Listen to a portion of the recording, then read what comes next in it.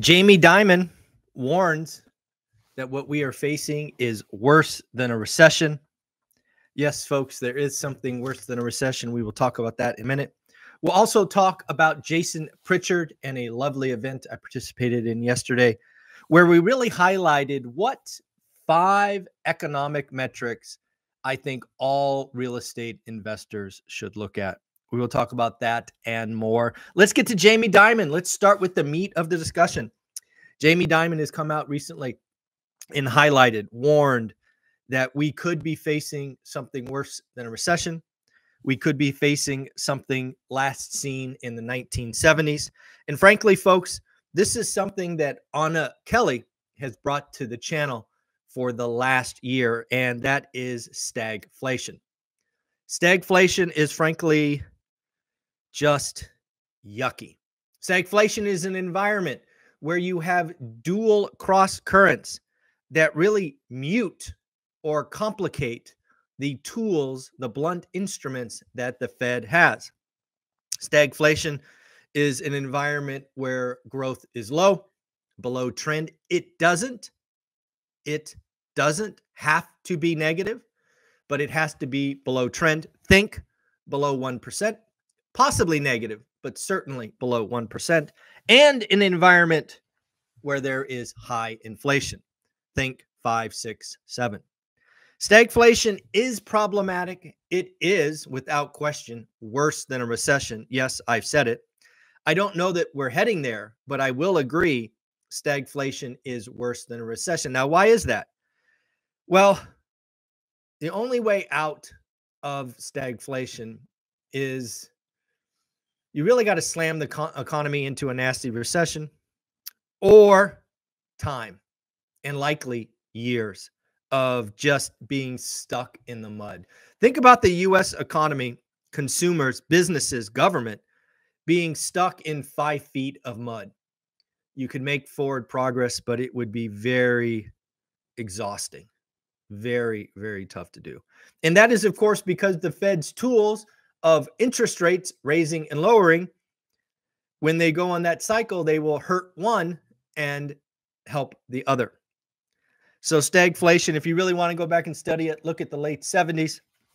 This is an environment uh, that uh, I lived through as a child. I only remember vaguely, but frankly, studied quite exhaustively when getting my econ degree uh, because it was a unique environment. So I agree with Jamie Dimon that the stagflation is worse than a recession. I don't think there's any argument there, but I don't know that we're heading there. And again, I I go back to something I've been carrying on probably for 18 months now, that a rolling recession is far more likely. And again, a sign of a rolling recession, just the latest sign is look at mortgages. Now, I'm not referring to purchase mortgages. I am ref- uh, talking about the refi boom, which we correctly called on this channel 30 to 45 days ago. Refinances are up 94% two weeks ago, 106% last week.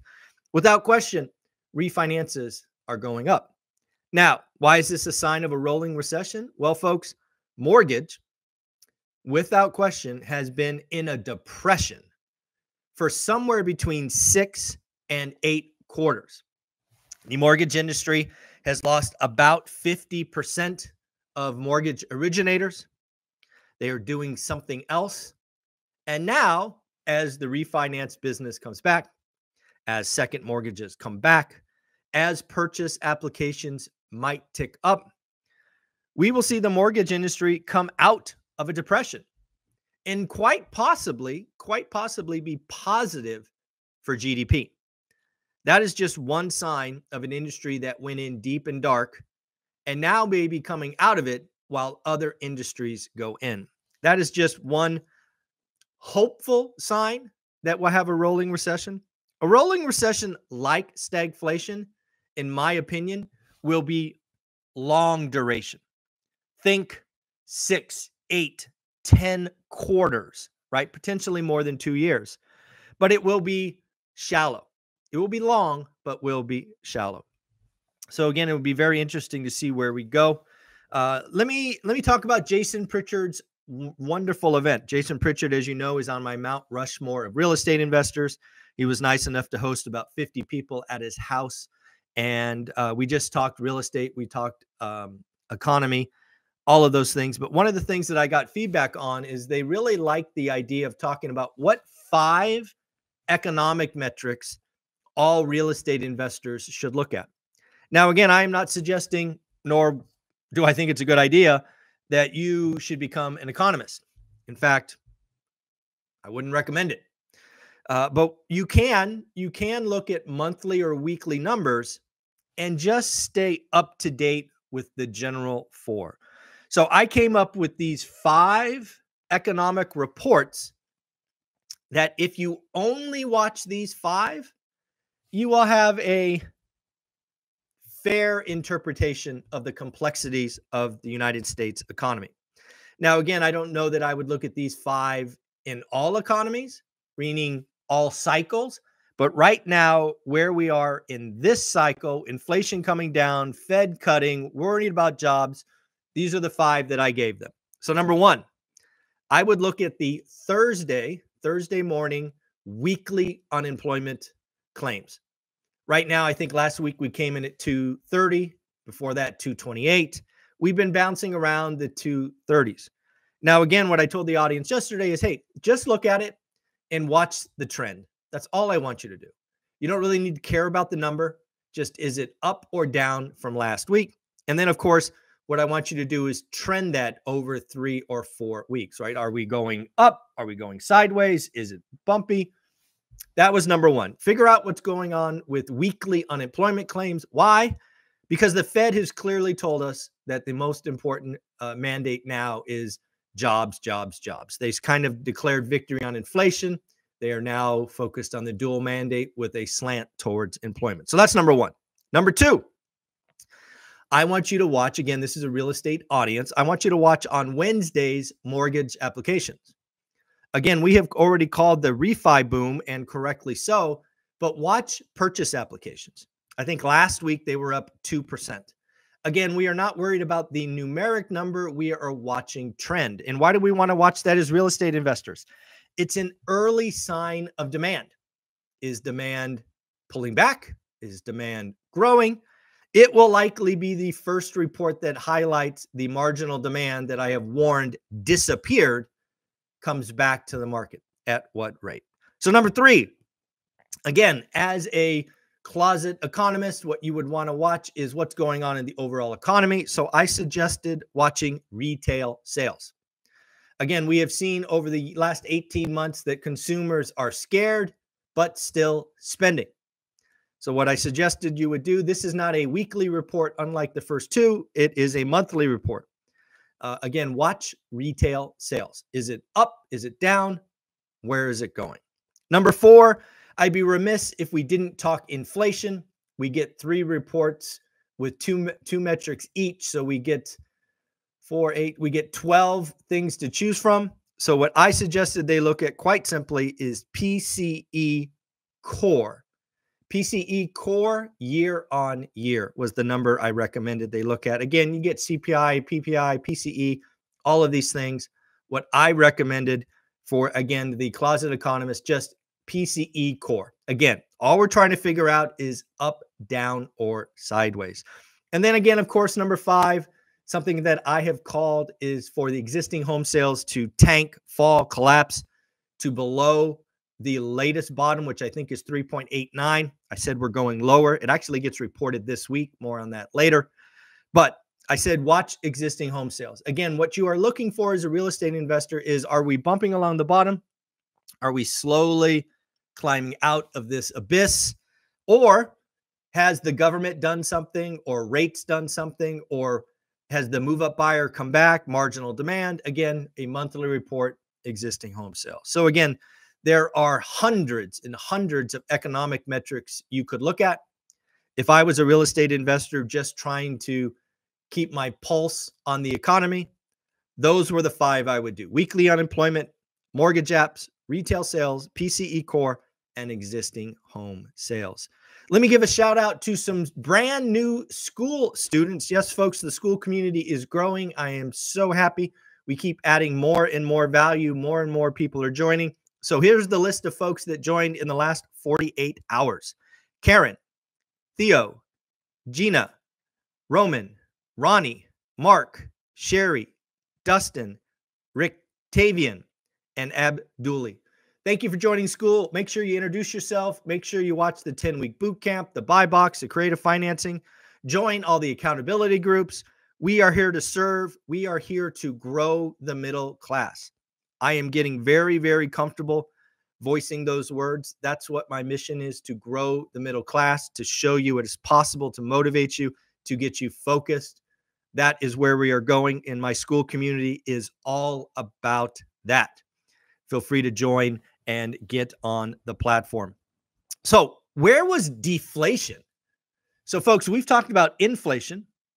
We've talked about uh, disinflation, that is, inflation going up slower. And now we have deflation.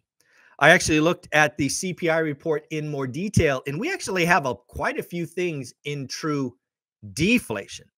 Did you know apples were down 13.9 cent, 9%, potatoes down 6.6%, rice down 3.1, cheese down 1.7, fuel oil down 12.1, gasoline down 10.6, used cars and trucks down 10%, men's, men's suits down nine, TVs down five, and toys down three. What does all this deflation mean? Well, I think there's a couple of things that you can take from deflation. A, or one, it is in the goods portion of our economy. Goods.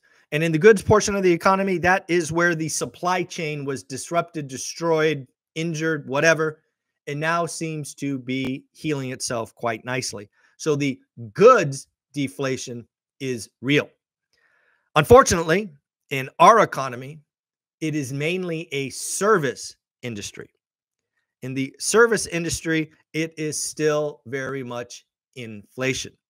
We do have some disinflation, meaning inflation is going up slower than before, but there is very little, if any, deflation occurring in the services economy. Next up, it is Sunday, so we have to talk about the week ahead. What are the most important economic metrics? What will I be looking at? And most importantly, what is my Fed call for Wednesday? Stay tuned for that. I kind of dropped it on the Friday wrap up, but uh, in case you missed that, it is an important day, and I'll share with you that in a minute. Number one, starting tomorrow, we will get on Monday manufacturing survey.